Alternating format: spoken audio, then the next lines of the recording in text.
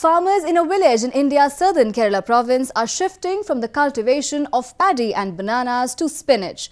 The leafy green vegetable consumes much less time to harvest and its demand never goes down.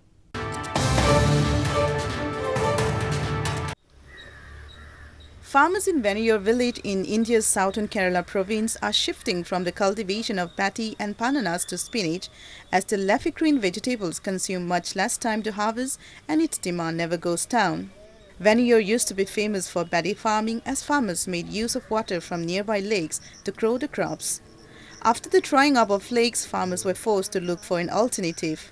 Farmers turned to producing bananas but did not yield satisfactory results until they turned to spinach harvesting. കഴിഞ്ഞാൽ ഇത് മാസം തോറുമുള്ള വിളവെടുപ്പാണ്.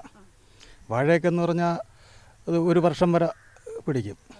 പക്ഷേ ഇതാകുമ്പം എല്ലാ മാസവും നമുക്ക് വിളവെടുക്കാം.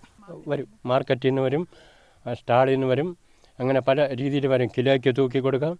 അല്ലാതെ പിടി പിടി പിടിയായിട്ട് കൊടുക്കാം.